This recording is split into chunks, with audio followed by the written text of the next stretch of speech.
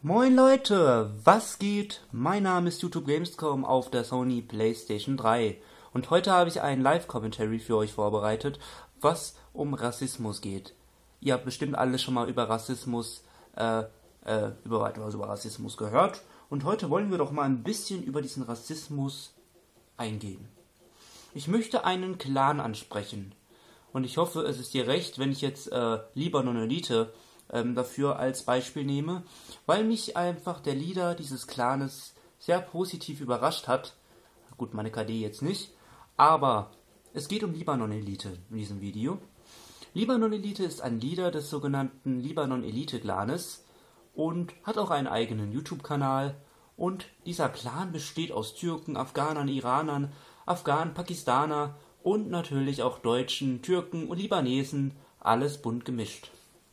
Das ist für mich ein gutes Zeichen für Integration dieser äh, Agent Modern Warfare und der, der ist mir sehr sympathisch. Der hat mir auf jeden Fall erzählt, dass Freunde von ihm ein türkisches Emblem, ne, nicht Freunde, aber das habe ich im Kommentar gelesen, dass auch andere Leute ein türkisches Emblem drin gehabt haben und ja, wurden von Deutschen eben als Türkenfresser bezeichnet. Finde ich, äh, ich war ein bisschen schockiert. Sind wir das wirklich? Warum beleidigen wir eigentlich andere Länder, andere Religionen?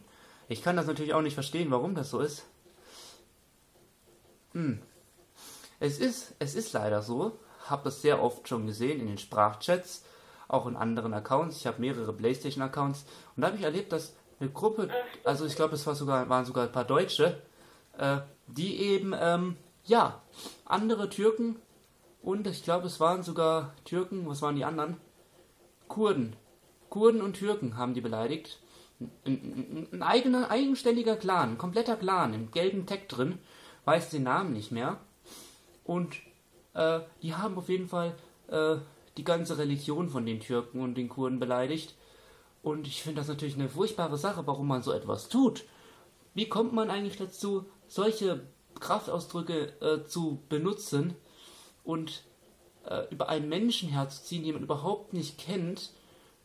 Und ja, da auf jeden Fall war ich da mal in der Lobby drin.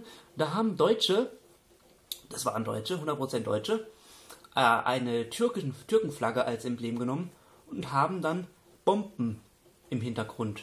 Also Türkenflagge und dann Vordergrund waren da Bomben.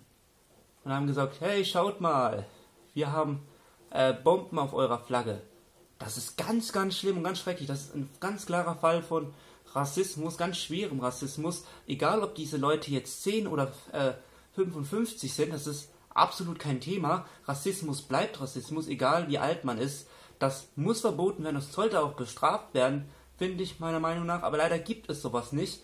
Man kann heute leider, leider, leider heute herziehen über andere Nationen, andere Länder, über andere Religionen. Es passiert eigentlich gar nichts.